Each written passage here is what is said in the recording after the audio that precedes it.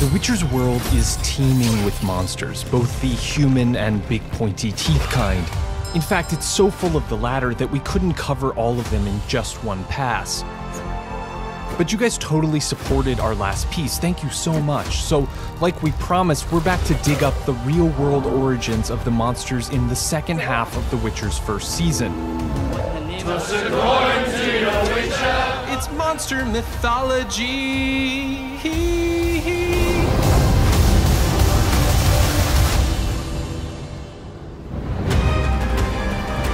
Well, there's a tiny little problem with the first monster we see in episode 6.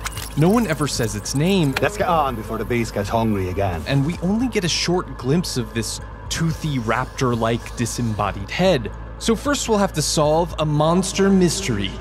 By going back to the Witcher books, this episode is based on Sword of Destiny's Bounds of Reason, and Geralt starts that by hunting a basilisk. And just to be safe, we checked with showrunner Lauren Schmidt Hissrich, who said, yes, it is a basilisk, one of many subspecies that might or might not be in development. Ooh, scoop! Although proportions vary by the tale, the basilisk is typically portrayed as some mixture of reptile and chicken, born of a rooster's egg, yes, rooster, that was incubated by a toad, which admittedly sounds really silly. But, counterpoint, isn't a T Rex kind of a mixture of a chicken and a reptile? And like the T Rex, the basilisk is considered a king, the little king of the serpents in Greek. But you can argue that its formidable arsenal of monstrous weapons makes it way more dangerous than these beasts and or puny dinosaurs. Like a dragon, it could breathe fire, and its hiss could kill, so could its odor. In fact, it was so very toxic that its venom was known to travel up a man's spear to kill him and the horse he rode on. And scholars thought its native habitat of Libya was actually a verdant paradise until basilisk toxins turned it into the Sahara. And we haven't even gotten to its famous death stare yet, which even rivals Geralt's. The basilisk stare was thought to be instantly fatal. Humans in antiquity went to great lengths to protect themselves from it.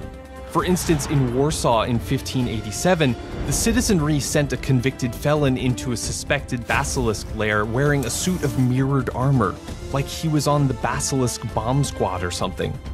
By the way, Warsaw now has this cool basilisk statue, which we thought you might like to see.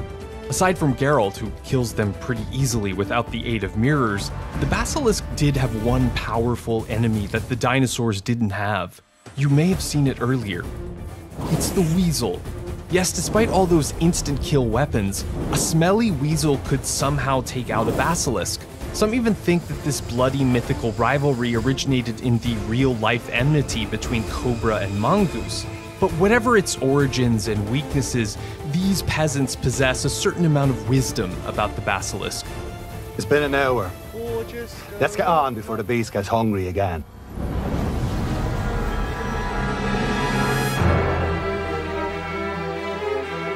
The Hirikka is a rare creature within the world of The Witcher, and unfortunately, it's even more rare after the incident in episode 6. But it's also the first monster we've encountered that was created out of thin air by Witcher author Andrzej Sapkowski. As far as I can tell, it's only mentioned in The Sword of Destiny, and there just two times.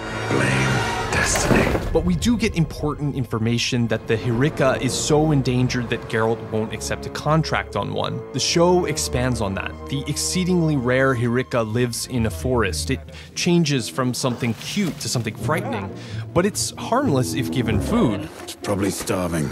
Sheathe your weapons. Oh, yeah, and absolutely do not eat it. Oh, oh, That said, I'm not the only one that sees some passing resemblance between the show's Hirikkas and the more modern form of gremlins.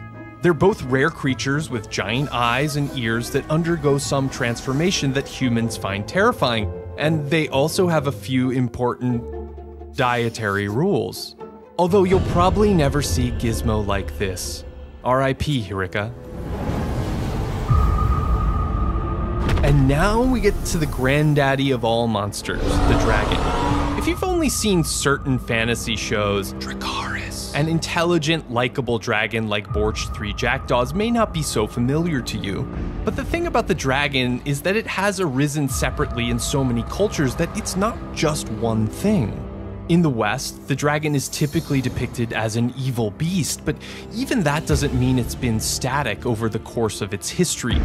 Even the Greek name has multiple meanings serpent on its face, but trace that back and you get to see clearly. And in the time of the ancient Greeks, dragons were the worst, literal enemies of the gods. Typhon fought and fell to Zeus, the worm Nidhogg gnawed on the roots of the world tree in Scandinavia, and of course, the book of Revelations prophesied that the Christian devil would come back as a multi headed red dragon. That didn't help the dragon's image. But when spinners of tales started writing about dragons as creatures on Earth, they weren't necessarily what we associate with our familiar Western dragons. Roll a saving throw against dragon's breath! Pliny the Elder, a Roman natural historian who would influence generations, wrote about dragons as almost boa constrictors, killing with their powerful tails. So strangely, there's almost a millennium of accounts of dragons hunting elephants, their supposed favorite prey, that are straight out of nature documentaries.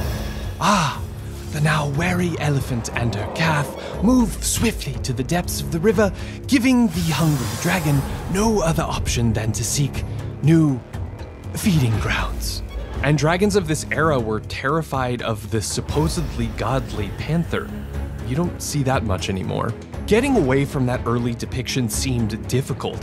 Beowulf's famous dragon flies and breathes fire and hoards treasure like future dragons would, but it's also said to coil and to possess a venomous bite like a snake. In fact, it wasn't until the 1200s that the first known modern dragon appears in a manuscript, a winged, four legged, fire breathing red dragon that would become part of many a knight's stories. For kingdom and glory. But even then, the bestiaries varied by author, spawning amazing, now forgotten dragon facts like this one. It was thought that dragon urine, which obviously would rain down from the sky, would putrefy human tissue upon contact. Anyway, that's just the West. Because the East has had its own distinct dragon culture maybe since the year 3000 BCE, and they're not evil at all. In fact, they're considered powerful and lucky, revered as celestial beings that could control the rain, among other aspects of reality. They were even adopted as symbols of the Chinese emperor. And while they are still largely flying serpents, the Eastern dragon is typically believed to include parts of nine different beasts. Plus, they were known to change size and shapeshift into human form, so perhaps the Witcher's gold dragon was influenced by them as much as the West. Of course, we don't know why dragons arose in this many cultures. Scholars cite misunderstood evidence of dinosaurs or a deep fear of crocodiles. But I do know I always love to see them, which is why Lauren Schmidt Hissrich's idea that there are gold dragon witchers that protect other dragons from humans should immediately be greenlit by my superiors at Netflix. Thank you for your consideration. Some thought that the nasty monster whose bite poisons Geralt in the final episode was a Necker, originally a dangerous type of water spirit in Northern European folklore. But Lauren confirmed for us that this was indeed a pack of ghouls we saw burrowing through the corpse strewn battlefield. And maybe the most surprising thing I learned in the course of researching all these monsters is that the original ghoul isn't undead. What are you doing to me, D&D's Monsters Manual? Belief in the ghoul began pre Islam in a sort of mythological exchange between the societies of Mesopotamia and Arabian nomads. But the ghoul was probably helped along when the Hadith, a book of the Prophet's sayings, not always but sometimes acknowledged the creature's existence.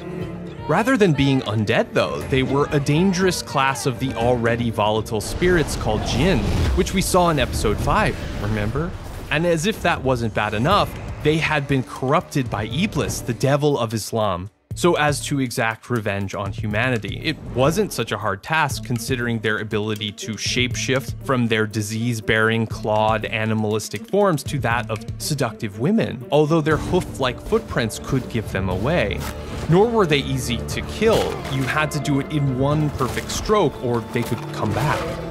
Ghouls prowled for travelers in forgotten places, like wastelands or derelict buildings or graveyards. But in the original incarnation, they didn't actually eat the dead.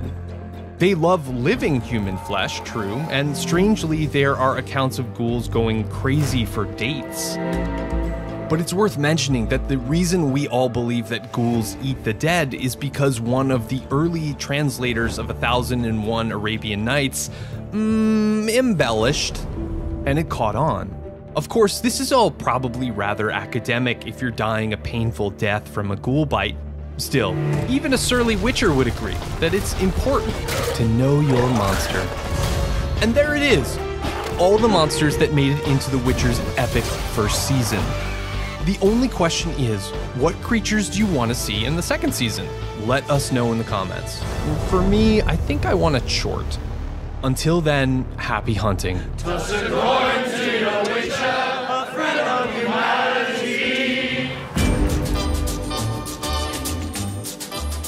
For anyone wondering, there was one monster left on the cutting room floor, according to LSH. Geralt originally took a contract for a Polevik in episode 6, but Yennefer beat him to the punch, obviously leading to them, you know. Anyway, in Slavic mythology, the Polevik is a grassy haired field spirit that can change size depending on the surrounding plants but it can be hostile, especially to those who fall asleep in the fields. The only way to get in good with one was to offer it two eggs and a rooster that could no longer crow while no one was looking. LSH says the show version was, and I quote, so cute. Maybe next time.